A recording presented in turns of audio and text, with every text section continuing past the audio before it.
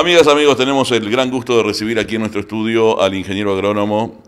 eh, Daniel Garín. Él me hablaba recién que le habían aconsejado los lentes que está usando eh, en momentos de estar preparando su, doctorado. Por lo tanto, también le podemos decir doctor, ingeniero agrónomo Daniel Garín. Ustedes lo deben de recordar, muchos de ustedes lo deben de recordar por su pasaje por el Ministerio de Ganadería, Agricultura y Pesca,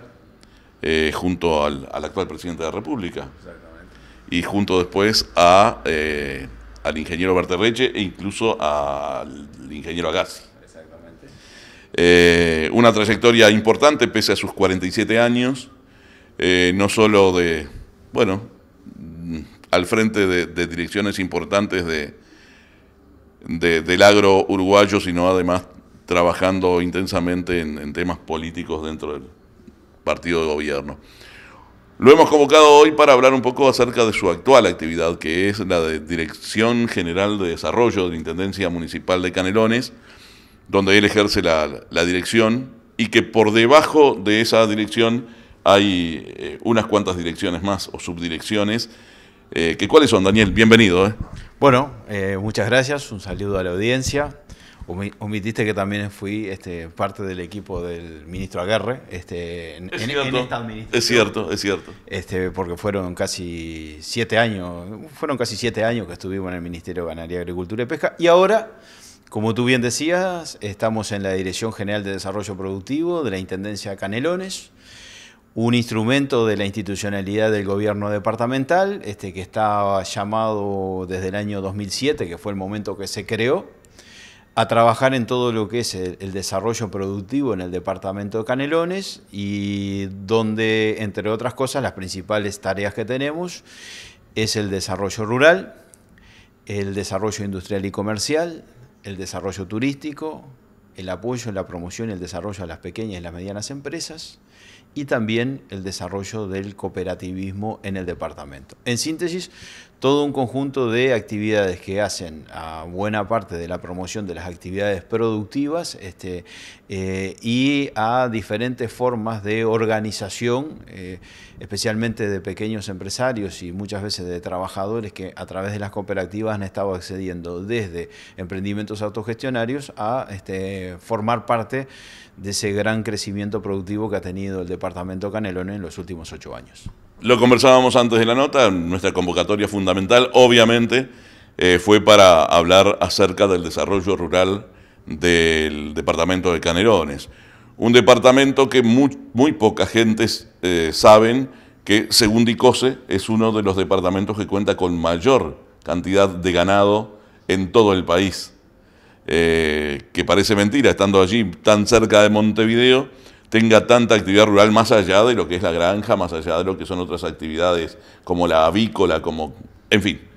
eh, enorme cantidad de, actividades en torno al agro, pero lo que llama la atención a veces es que Canelones sea eh, el, departamento que cuenta, según su superficie, con la mayor cantidad de, de animales bovinos y ovinos. Es así, eh, es un departamento, también es el que tiene la mayor cantidad de productores este, en relación a los restos del departamento de los departamentos del país. Un departamento con clara vocación y tradición de desarrollo agropecuario que se remonta a fines del siglo XIX, principio del siglo XX. Ha sido el lugar donde han llegado buena parte de grandes contingentes de inmigración de fines del siglo XIX y principio del XX a colonizar eh, estos territorios para esencialmente eh, contribuir a lo que ya a principios del siglo XX empezó a ser una necesidad palpable por parte del crecimiento de Montevideo, la necesidad del abastecimiento de los alimentos de su población. Entonces es un departamento de neta vocación agropecuaria y que desde lo más este, fondo de la historia siempre ha sido proveedor de alimentos este, para eh, la gran ciudad del Uruguay que siempre ha sido Montevideo y hoy este, podemos hablar ya del área metropolitana. Esto pauta este, su desarrollo, su, momento actual, este, su identidad cultural, y ni que hablar de que ha sido este, motivo de formar parte de algunos de los proyectos que forman parte de las estrategias que el gobierno departamental desarrolla en el campo concreto eh, del territorio rural. Eh, estaba tratando de acordarme, mientras tú mencionabas todo eso, los tres principales eh, frigoríficos que hay en el departamento de Canelones, que son el, frigorífico Canelones, el frigorífico Las Piedras, y me falta uno. Son tres importantes. el Carrasco, este, eh, que son tres grandes este, emprendimientos este, de, faena de, bovinos. Eh, algunos de ellos hoy en día este, abastecidos por este, sistemas de, de engorde a corral que también están en el departamento.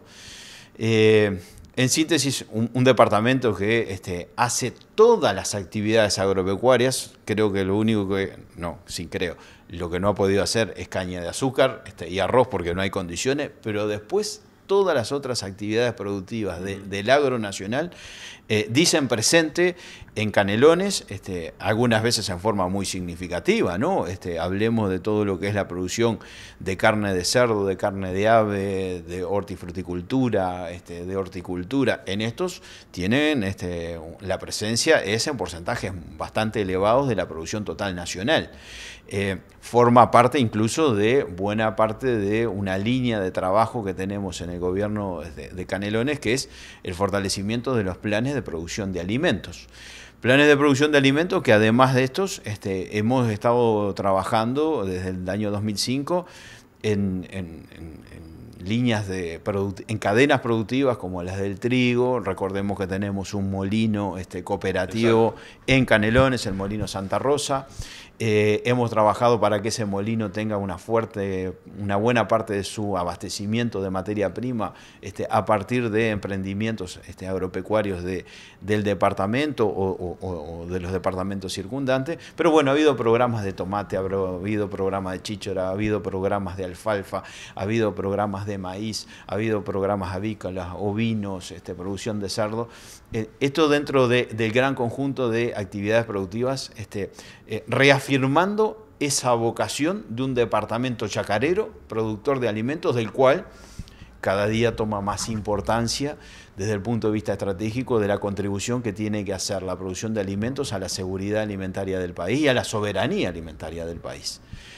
Eh, esto además lo hacemos este, acompañado de un segundo proyecto de trabajo muy fuerte, que es el fortalecimiento de las organizaciones de los productores familiares,